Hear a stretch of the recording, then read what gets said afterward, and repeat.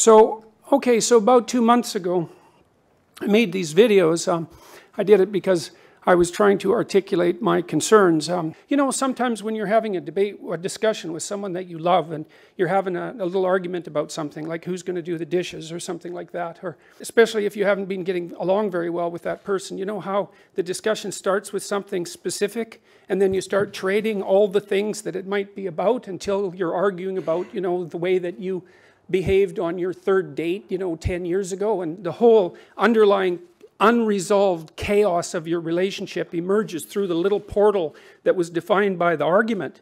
You know, well, that's what this is about. And when you talk, it doesn't mean you're right. It doesn't mean you're correct, right? It means you're trying to articulate and formulate your thoughts like the boneheaded moron that you are. And you're going to stumble around idi idiotically because what the hell do you know? You're full of biases and you're ignorant and you can't speak very well and you're over emotional and you know, you've got just problems that you can hardly even imagine that are interfering with your ability to state something clear. And so what you do is you do your best to say what you mean, and then you listen to other people tell you why you're a blithering idiot, and hopefully you can correct yourself to some degree as a consequence of listening to them. And you see, that's what free speech is about. It isn't just that people can, can organize themselves and their societies by thinking. You can't do that because there's only one of you. What you have to do is you have to articulate your thoughts in a public forum so that other people can attack you and hopefully in a corrective manner. And then you want to you know, step back a little bit and think, okay, well, you know, I was a little arrogant there and I was a little over emotional there and I didn't get that quite right and maybe I'm outright biased on that front. And you, you want to correct what you say because then you correct how you are and then you correct how you act in life and then you correct your society. And, and to the degree that we limit free freedom of expression, we put all of that at risk. And that's partly why I don't believe that freedom of speech is just another value. I think that's preposterous. I think that if you claim that, then you know nothing about Western civilization and history. Is freedom of speech is not just another principle. It's the mechanism by which we keep our psyches and our societies organized, and we have to be unbelievably careful about in, infringing upon that because we're infringing upon the process by which we keep chaos and order balanced.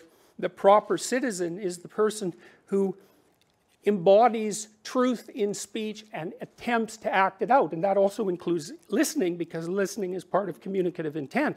And I think at the moment that we're, we're embroiled in a war on every single one of those dimensions and several others that I haven't had time to list. And the, the evidence that we're in that sort of war is precisely the fact that this has attracted so much attention. I mean, I just sat in my bloody office at home and threw up a couple of amateurish videos, more or less attempting to articulate my feelings about a couple of policies. And it's like all hell broke loose. And why? Well, because that hell is right underneath the surface. So I'm going to read you something that a graduate student sent me from the University of Toronto the other day, and I, I, can also tell you that I've received hundreds of letters like this. Today, I had a tutorial at the University of Toronto where I talked about Jordan Peterson and issues of personal identity, legally sanctioned identity categories, etc. I brought up a video of a tall white man in his 30s who asked students at a university how they'd react if he told them he identified as a woman, as black, as short, and as five years old. Spoiler alert. Students in the video resist some of the later categories a bit, but are mostly accepting. Still, students were not engaging in discussion. I asked them why. One said it was because she was worried to share her opinion for fear of being singled out or saying something offensive. I asked who else was not speaking for that reason. The whole class put their hands up no participation. Why? They weren't uninterested. They were afraid to speak their minds. The PC police are in your heads. I'll start with lawyer one, who was the counsel to several prime ministers. He talked to me about the Human Rights Tribunal because I went and saw him two weeks after this all started. Human Rights Tribunal is a kangaroo court, in my opinion, and it should be abolished as fast as possible. It's one of the many institutions in Canada that pose a threat to your, to your freedom that, that is of almost unimaginable proportions. Here's what this top lawyer told me. If I'm taken in front of the Human Rights Tribunal, it will cost me $250,000. I will pay the legal costs for my opponents, and I will lose. He said, Go back to your safe little life and shut your mouth. Second lawyer told me, my critique of the Ontario Human Rights Commission is spot on. And absent the Charter of Rights and Freedoms, which has these contradictions built into it that you just heard described, much of what I was saying was illegal and has been illegal since 2012. Lawyer 3 told me that if I breached a tribunal order, so imagine I was taken in front of the Human Rights Tribunal and I was fined and then I refused to, to pay the fine, which I've stated that I would do. That equals contempt of court, which inevitably means jail until the contempt is purged. The social justice tribunals and the SJWs, social justice warriors who staff them, have a rogue nature. They can search your house without a warrant. They can use secret hearings. There are no rules of evidence, and the judges are unaccountable. But those are legal opinions. Let's, let's look at a real world case. Let's look at what happened when I made my videos. Let's look at how the university responded, because I can tell you, in the video I said, look, what I'm doing is probably illegal, and worse, my employer is legally responsible for it, because that's built, in, that's built into the codes as well. So by the way, if you're an employer, you're responsible for everything that your employees say, and everything that anybody interprets what they said as being, whether it's unintentional or intentional, whether or not a complaint has been made. So just think about that. Anyways, October 3rd, the university said, like all members of the university community, I have an obligation to comply with the law, including the provisions of the Ontario Human Rights Code. Their policy with regards to workplace harassment, which the university implied that I was engaging in, engaging in a course of vexatious comment or conduct where the course of comment or conduct is known or ought reasonably be known to be unwelcome. The university reviewed my videos and they decided that what I said was true. They decided that the video I made was probably illegal and that they were responsible for it. And so, in an attempt to distance themselves from me, under counsel from their legal people, and believe me, the university has good legal people, they sent me a warning. And this is what happens if you want to discipline a recalcitrant employee, essentially, so that you don't have to bear legal responsibility for their acts. So on October 18th, the university mentioned to me in another warning letter that if personal pronouns are being used, the refusal to use the personal pronoun that is an expression of the person's gender identity can constitute discrimination.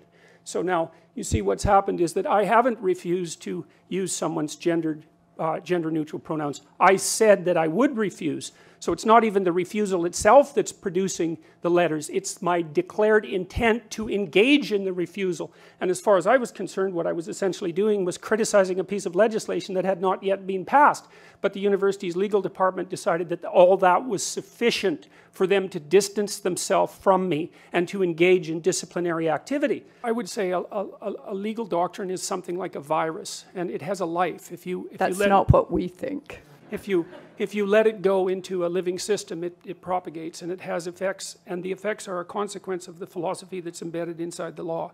And if you really want to know about this, you should read Alexander Solzhenitsyn's Gulag Archipelago, because what he does in that book is tell you how the hypothetically humane doctrines that were embedded in radical Marxism at the end of the 1800s unfolded into Soviet society and demolished it.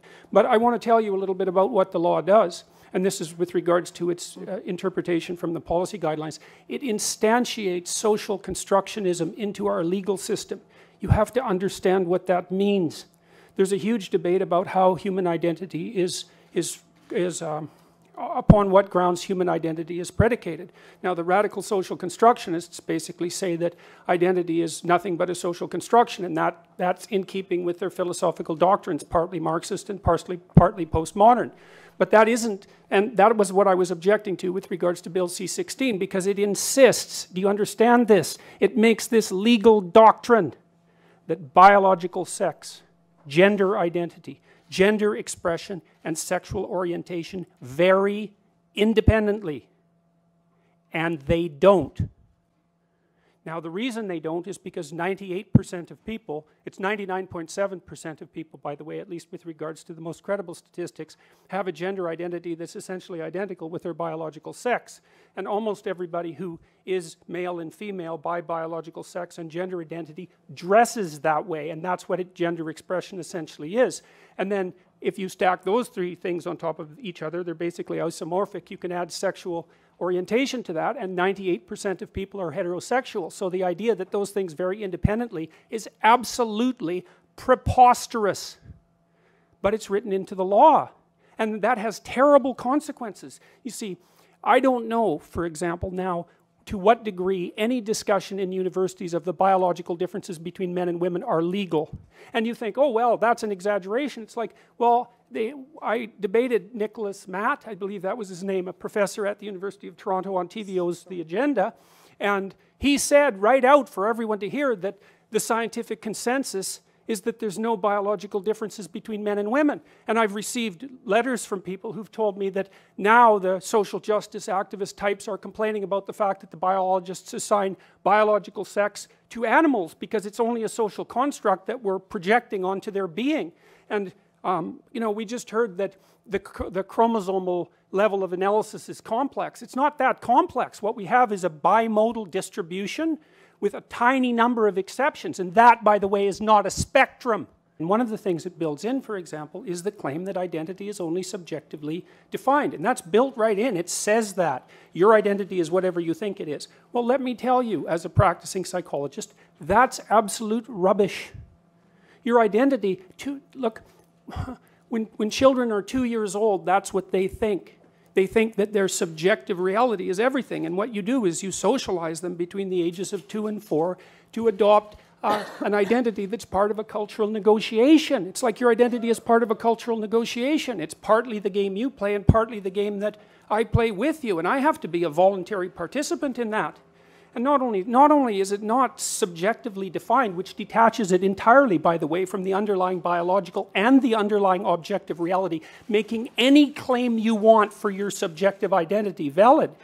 The other thing it does, it, it completely obliviates the idea that identity is actually a pra pragmatic entity, for God's sake. It's like if you're a lawyer or a father or a mother, like an identity that has some solidity to it.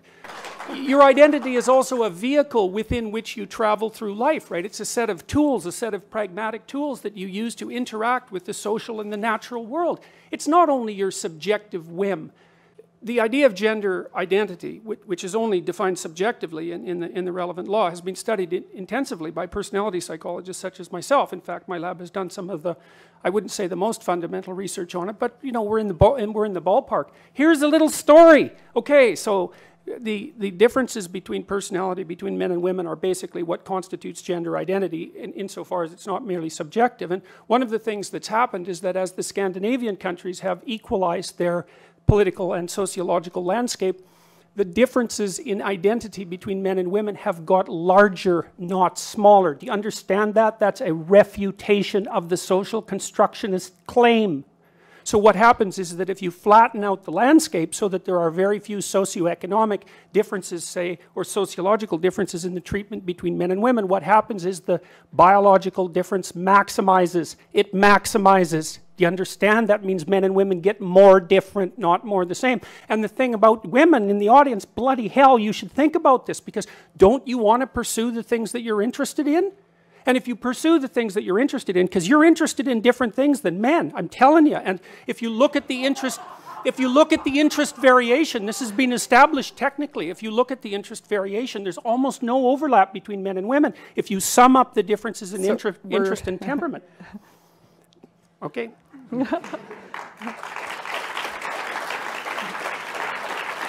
Uh, Professor Peterson, let's start with you. Uh, so this question says, um, you present your issue with Bill C-16 to be that the infringement of freedom of expression regarding gender pronouns is a problem.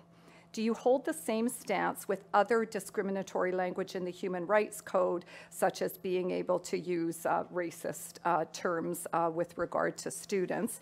And if you believe that one of these things is a violation but not the other one, why? I'm not sure I read that out okay, all that yeah, well, but you get the idea. Okay, well, well, first of all, I don't think that these issues are the same. I don't think they're the same at all.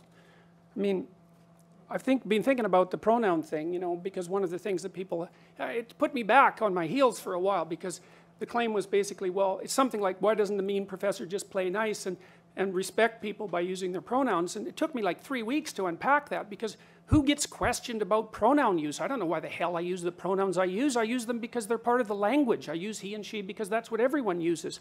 And so then I had to think about, well, why, why do we in fact use pronouns? And we use them in part for the same reason that we use other categories, and that's to simplify the world for functional purposes, roughly speaking. But then I was thinking, well, is the use of he and she a mark of respect? And the answer to that is, well, no, it's not a mark of respect. It can't be a mark of respect. What you call 4 billion people can't be a mark of respect, right? It's a, it's a mark of basic categorization. And so then the claim comes up, well, if someone wants you to use a particular pronoun, then you're disrespecting them if you don't. It's like, hmm, okay, let's think that through a bit. Well, that assumes that when I'm using he or she for, for people in, you know, in normal parlance, that I'm actually indicating my respect for them. And that's not true. It's like if I don't know you, I class classify you generically, and basically I classify you in terms of how you present yourself publicly. I suppose that's your gender expression and then I nail you with whatever pronoun seems to fit. It has nothing to do with respect. And besides that, you bloody well don't get to demand my respect. Why should you? You know, I mean, it's not like I respect everyone. That's a foolish thing to do. You respect people who are respectable. You know, you, you make value distinctions between people, and that doesn't mean you illegally discriminate against them. Those aren't the same thing. But I'm all for value judgments. Don't tell me that I'm not respecting people when I don't use their gendered pronouns. And the other thing is, I don't buy this whole idea that the people who are putting this legislation forward are valid representatives of the trans community. That's what they say they are. We have mechanisms for deciding whether someone's a valid representative of a community, and that generally involves democratic voting. I've received at least 20 letters from transsexual people who are on my side, and by the way, zero from others, believe it or not, who are perfectly happy with the idea of gendered pronouns. It's just they want to be the other one. Now, you can have a discussion about that, and there's lots of things to be said about it, but the idea that this community that's coming out and these demanding these rights is somehow representative of this homogenous oppressed minority, I think is rubbish. Is Professor Peterson, sorry, um, as a clinical psychologist, refusing to acknowledge how damaging it could potentially be to an individual to disregard their identity? It's a very difficult question to even engage with because I don't understand its I don't understand it. It makes things so simple that you can't discuss them properly. All I do in my clinical practice, and I have about 20,000 hours of experience with clinical in my clinical practice, and I've dealt with all sorts of people, far more variation in people than the typical person ever encounters, and I think I've done it at least reasonably competently. All my discussions with people in my clinical practice are about their identity, given the definition of identity that I brought forth, how they feel about themselves, how they conceptualize themselves, because those are two different things, how that plays out in their interactions with other people, and what the functional significance of that is. And I'm, I'm going to say forthrightly, well, two things. One is that I don't believe that any of my clients have had cause to worry about my interpretation of their identity because what I do in my practice is help them discover what that is. I'm really, I'm seriously not interested in imposing any ideas of identity onto someone because I don't I can't do that. I don't know what the right vehicle is for you to travel through life. What I can help you do is articulate your concerns. I can ask you questions where I see contradictions in your self articulation. I can help you make plans for the future. And I've helped thousands and thousands and thousands of people, by the way, make plans for the future with the stuff that I do online. And so I'm helping people build a genuine identity. Um, well, and that's what I do. So that's the answer to that question, and, and I think I do it well. I mean, in, in stuff we've done from a research perspective with the Future Authoring Program, which I offered to people free a week and a half ago to help them catalyze their identities, we've helped 5,000 university students increase their grade point average 20% and decrease their dropout by the same. And the biggest effect has been with men and, and non-Western ethnic minority students who've accelerated their performance up beyond the range of the normal for the, for the dominant culture. A pure psychological intervention, I might say, and not a sociological intervention. So I'm perfectly willing to stack my record on identity formulation up against anyone's. And, and so, and I should also point out that I think where I'm most vulnerable in this entire debate, and I expect this will happen, and you know there's already been noise about it on the Ontario Psychological Association website, I think they'll, that they'll probably come after my clinical license. So that, that'd, be my, that'd be my guess. So, so. I think we might be straying a little away from Yeah. the question now, so uh, just uh, thank you. Um, So, No, um, no, we're not, because that, that question, that question involved my clinical practice. I'm not straying a bit. That involved my clinical practice, and there was a reason that the question was posed. So I'm not straying. thank you. Why do you feel that someone's personal gender identity and pronouns infringes your free speech? can one not also argue, based on your interpretation, that professors can use racial slurs in their classroom um, and the, that the inability to do so would violate their freedom of speech? Well, that's pretty much the same question, I think. Um, I think that we're crossing a dangerous line, and the line is the requirement that's being put upon people by government agencies with the full force of the law behind them to decide what language categories you're going to use. When I opened this debate, this forum, um, I tried to explain what this is about, and I couldn't explain everything that it's about because it's about too many things. But one of the things it's about is ideology and the distinction between the left and the right. And let's say, now, I truly believe that these made up pronouns, of which there are many, dozens in fact, and there's no consensus on them. I was just going to ask if you could go back to the point about the analogy uh, between uh, the racial slur and the and the I don't think there's any use. analogy at all. But I that's think what the difference between hear you I'm on. talking about compelled speech. There's a difference between saying that there's something you can't say and saying that there are things that you have to say. And I regard these made up pronouns, all of them, as the neologisms of radical PC authoritarians. Do you understand that? And I don't, I'm not a fan of that sort of person. And the reason I'm not a fan of that sort of person is because I've done my homework. I've read everything I can get my hands on in the development of authoritarian political systems, and I know the literature inside out and backwards. And I am not going to be a mouthpiece for language that I detest. And that's that.